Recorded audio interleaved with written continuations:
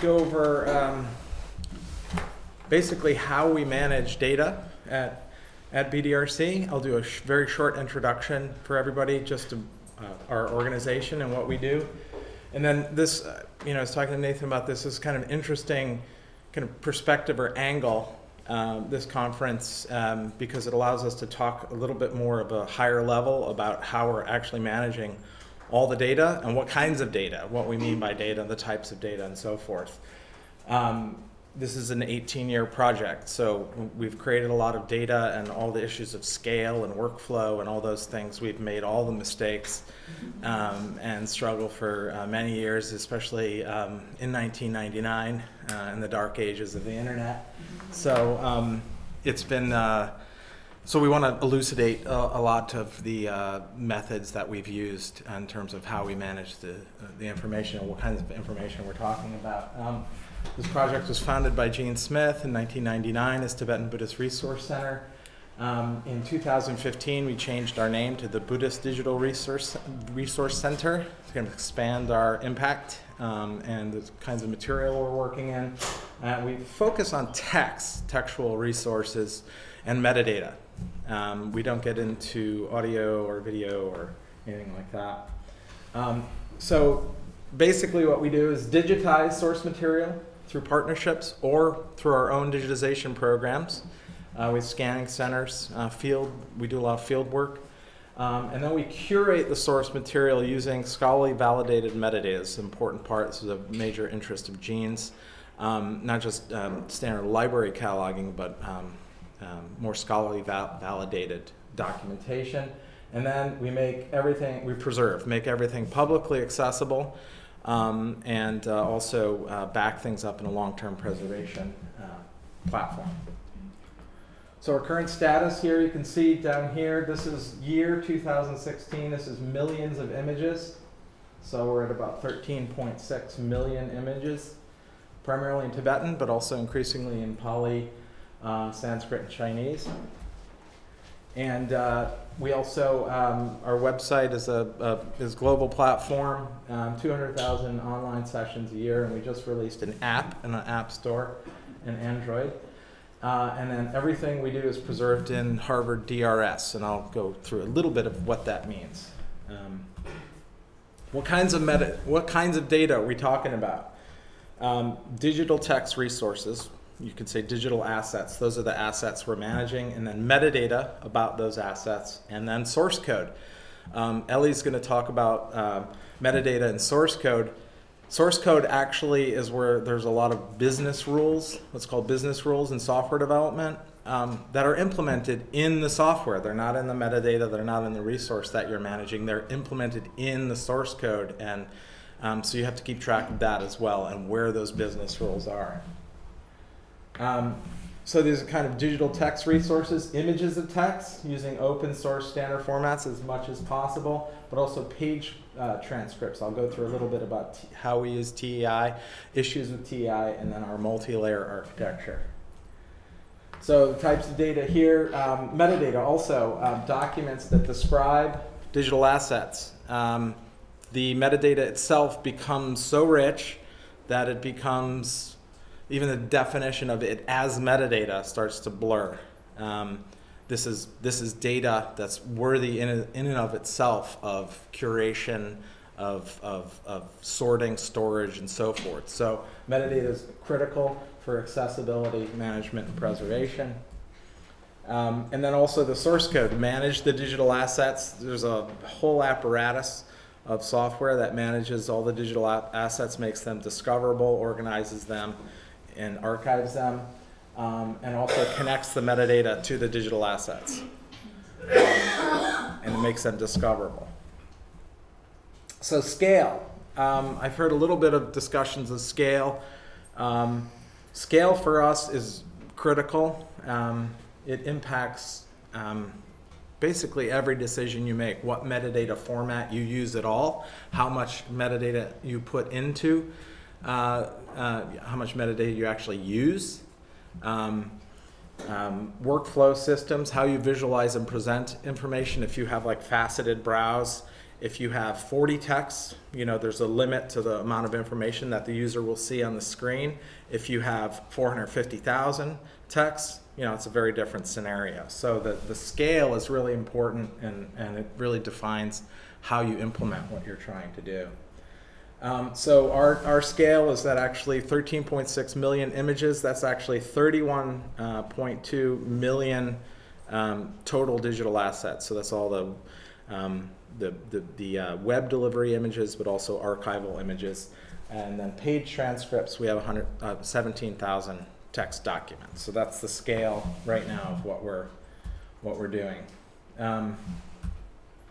Scale of the metadata, 160,000 records, items, persons, places, topics, which equals, and we'll go into, Élie's gonna talk a little bit about RDF, that's about 10 million triples, and 450,000 individual work objects. So that's um, out of the items in a library, it's about 450,000 individual works. Um, in the source code, 220,000 lines of code in our current platform, and right now we're developing an open source platform in Git, which is GitHub, which is uh, 25,000 lines of code.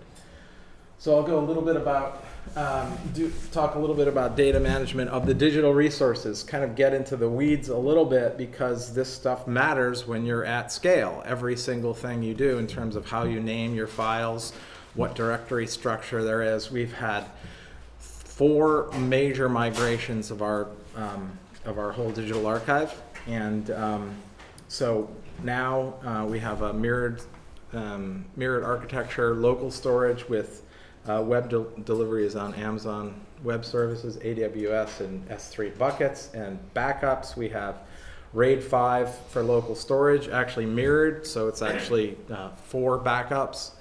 Um, and then it's also mirrored at the Internet Archive. We're building that platform right now. And then our long-term preservation backup is at Harvard. So I'm just kind of rifling through this stuff here just to give you a, a um, sketch of what we're doing. Um, this is uh, our um, our architecture.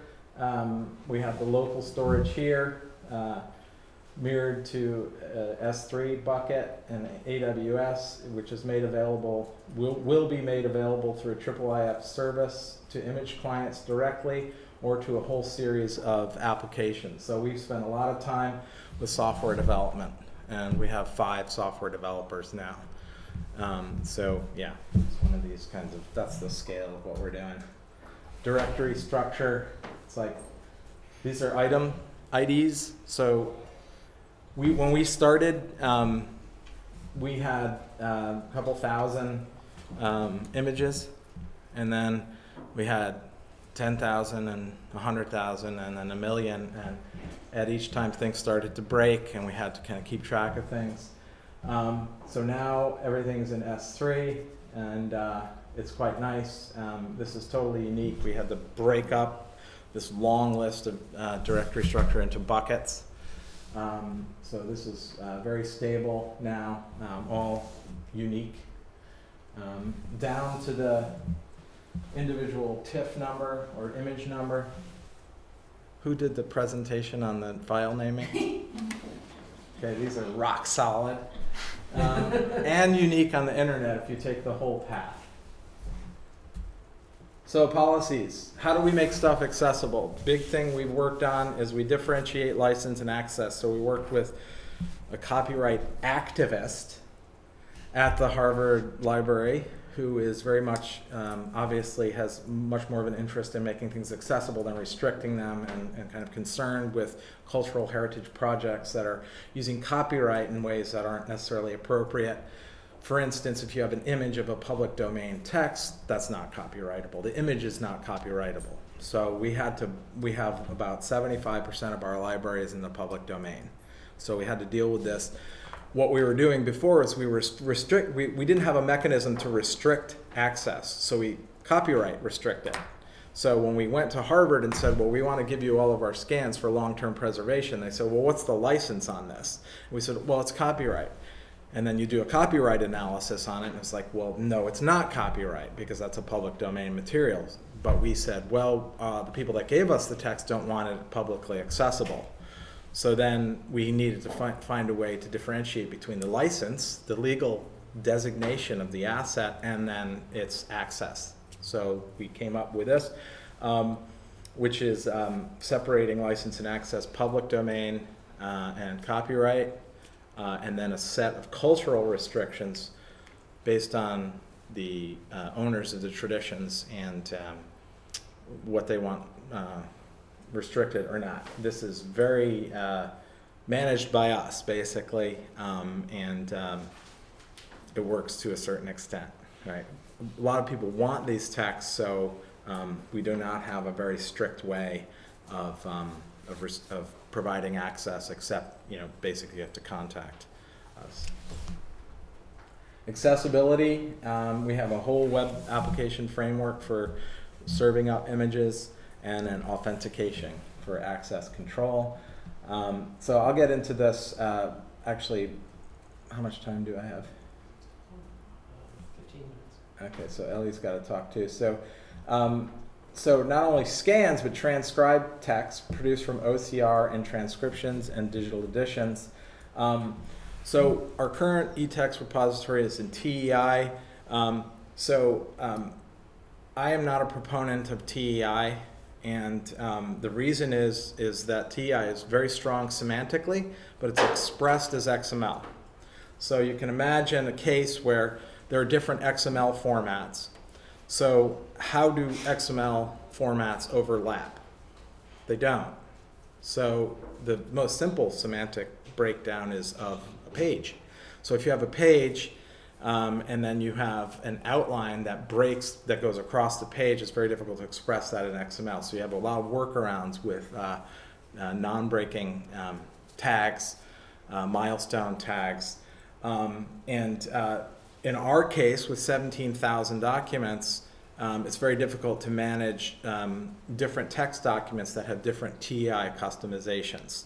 So the interoperability and the, the, the lack of overlap of XML. So my, our problem with TEI is not that it, the semantics of TEI, it's actually the XML of TEI.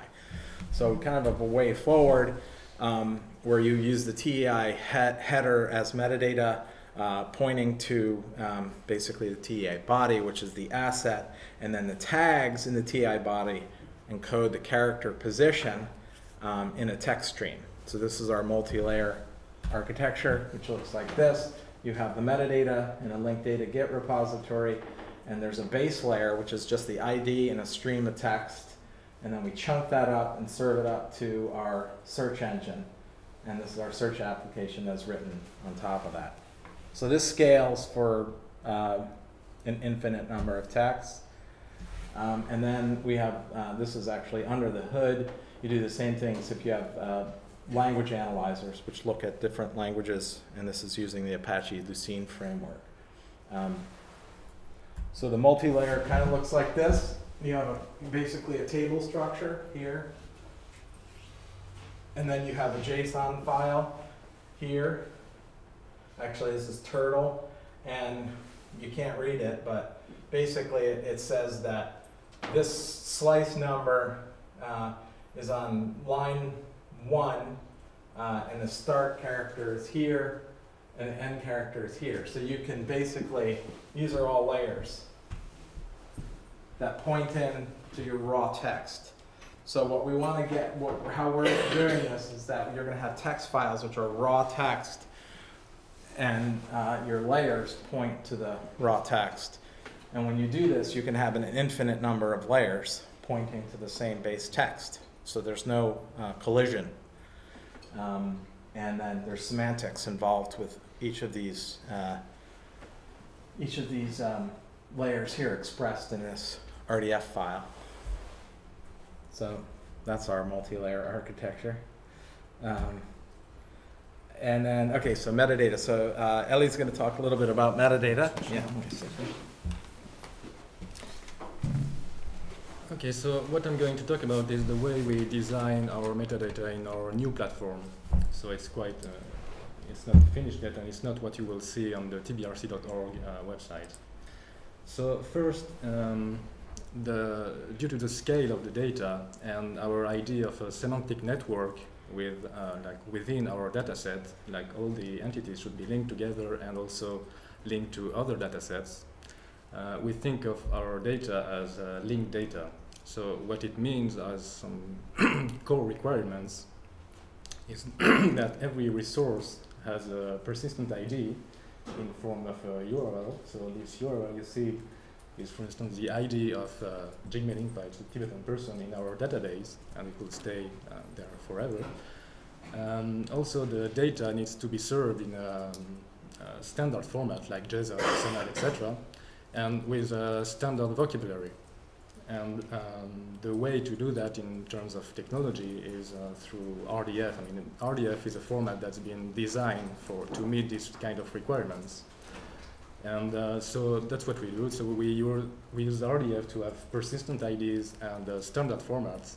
And uh, for the standard vocabulary, we have designed a role which we call the Buddhist digital ontology. And it aims at being um, a standard for um, in the Buddhist field so that any other project can uh, use this standard or at least uh, uh, convert its data to this standard and link uh, to our data in a very semantic way. And um, so that's a work in progress. We are documenting our vocabulary and we are uh, hoping to release a final, uh, maybe not final, but at least a public version with some documentation maybe in January or February, something like that.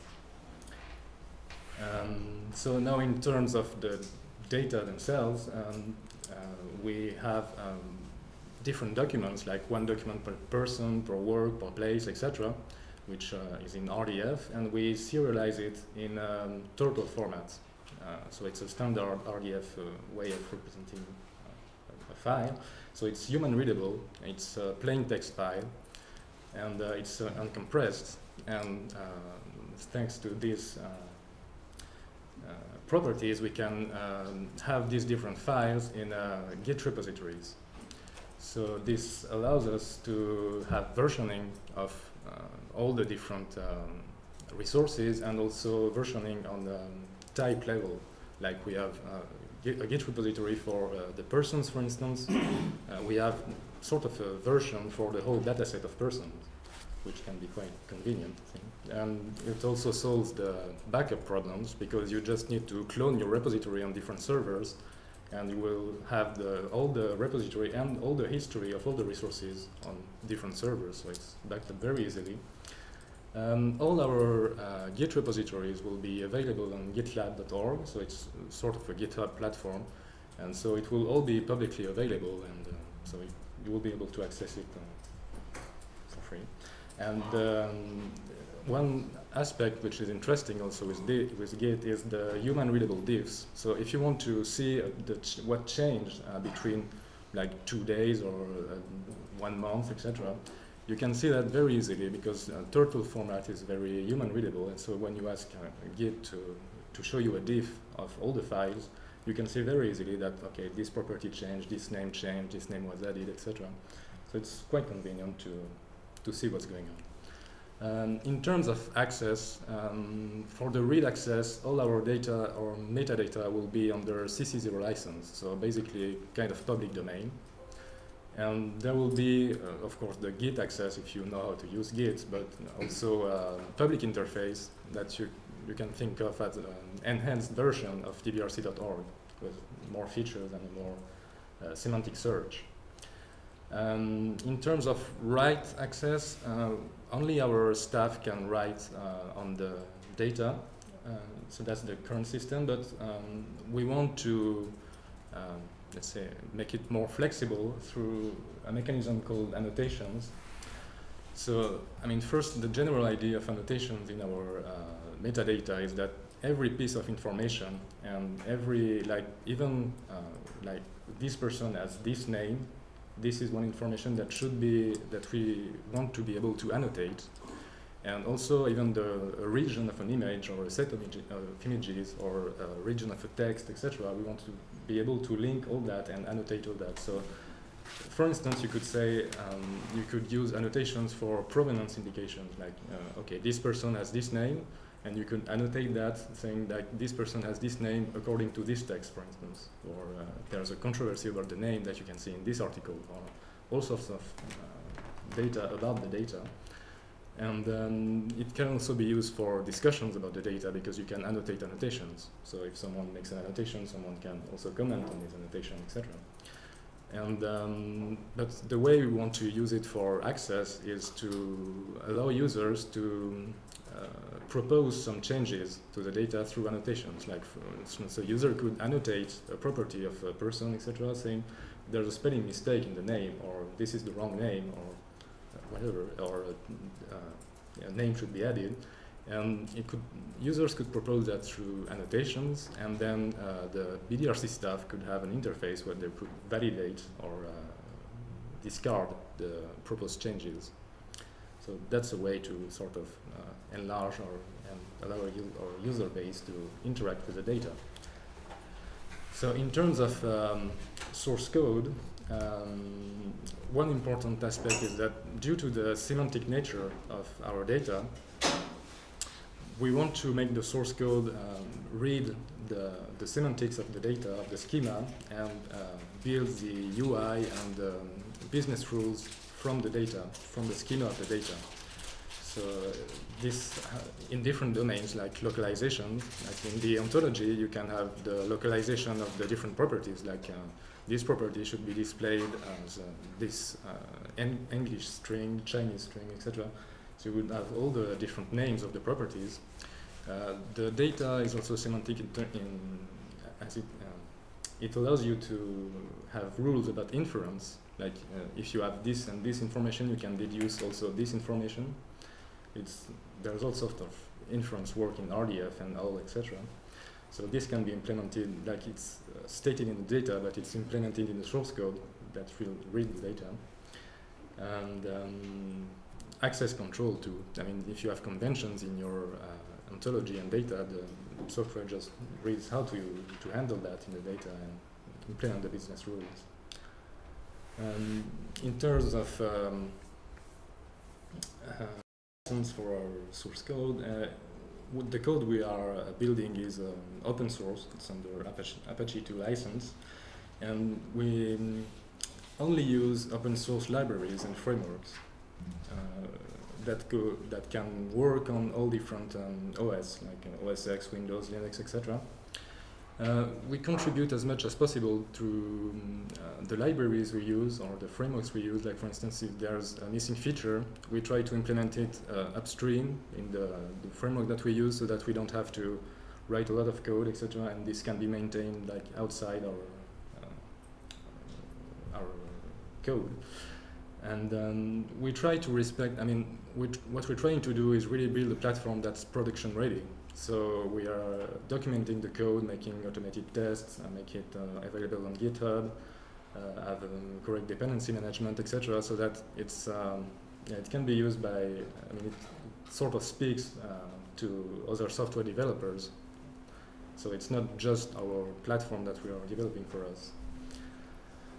Um, also a nice feature we, we've added is uh, build automations. Like there's a, it's through a software called Vagrant, uh, you can download a script that will automatically like fetch uh, Linux virtual machine, uh, uh, install all the dependencies of our platform, all the source code, all the data, and serve it on your local computer. So, and that's the the way we ourselves uh, have set up our development platform on our laptops and also on the servers we have. So doing this, you can very easily have a a complete uh, platform on your laptop and do some search, etc. Um, very easily. I mean, it's just a matter of uh, launching the script. So you can stay there. So in addition, I think we're pretty good. Um, maybe two minutes. Um, the issue of long-term preservation. Um, all three of these levels, types of data are preserved long term. So we go to the next slide, maybe. Um, so um, Harvard Digital Repository Service is our partner for long-term preservation. And uh, basically what you have is a series of content models that you publish into, and then they handle the obsolescence and the, the digital degradation, the bit rot, um, and uh, backups and um, migrations and so forth all of the page images, uh, archival images, as well as web delivery ima- images, all the metadata, and all the source code. So um, this is important, I think, in, in a lot of um, digital humanities projects to have some sense of long-term preservation. Um, I know a lot of funding agencies are now requiring data management plans in grants. So uh, that's it. That's it. We have one minute for questions.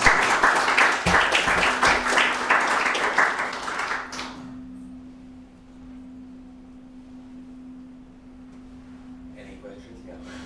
I, I'm curious, so you started out with, you know, a hundred, ten thousand, so when did you, did you develop this like step by step? Or when it went bigger and bigger, or when did you, you know, did the scale up to, you know, this kind of a large dimension?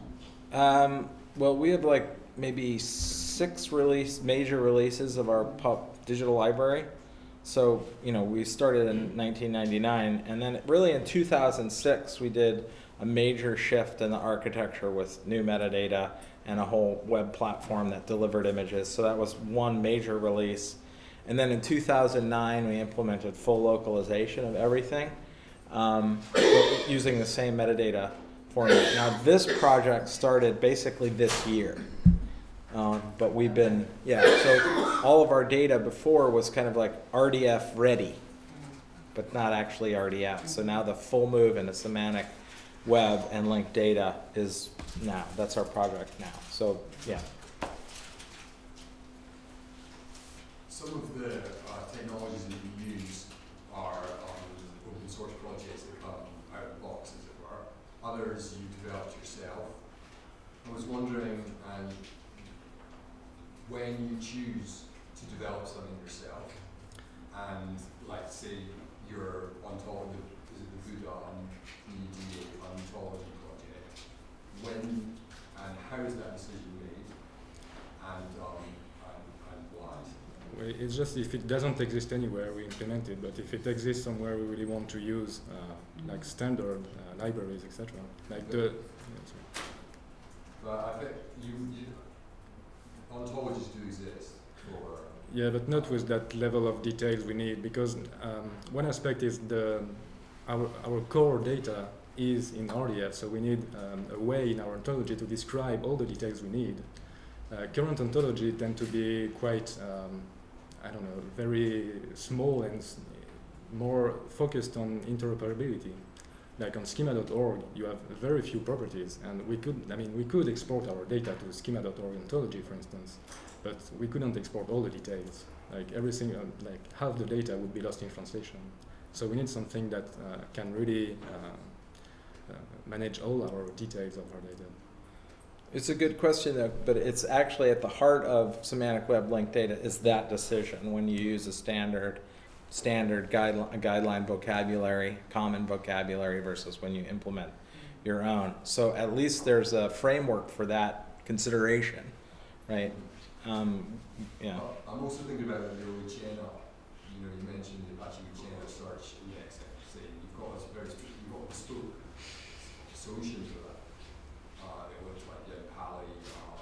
various different languages, um, search index. Yeah, Um, I mean, it didn't like. You have taken uh, a very different approach to that. So, uh, No, it just what we are doing is just uh, plugins for Lucene. It just didn't exist before. Like there, there was no Tibetan ana- analyzer for Lucene, and so we are just developing one Tibetan plugin for Lucene and one for Sanskrit, one for Pali, etc. But in a very really needed that, you didn't yeah, yeah, it didn't exist. Didn't Yeah. exist, yeah.